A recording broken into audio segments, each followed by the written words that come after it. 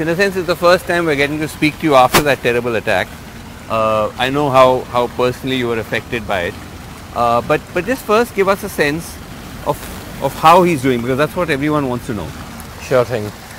Um, so Salman is incredible. He was stabbed over a dozen times and uh, he's as lucid and cogent as ever.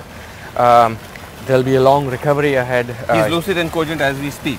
Yes, Okay. he can speak and he's going to be writing more than ever. You know, he's some combination of Jesus Christ, a phoenix, and Rasputin. Nothing can get my friend down. Um, Is, is this what you told him? or- I, I did indeed uh, tell him this and he laughed. You- so he has a sense of humor. this is important information. You spoke to Salman Rushdie. When was this? Uh, this was um, uh, last week, so uh, it, it's a very short conversation. okay. Um, this is while he was in, because he's still recovering. He's still in. He is he is still recovering. Um, his location uh, obviously can't be revealed for security reasons.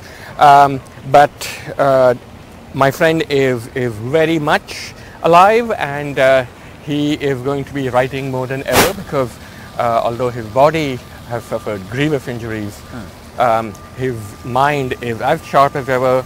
He is up and joking. Um, and um, he has a large circle of family and friends uh, that are going to take care of him.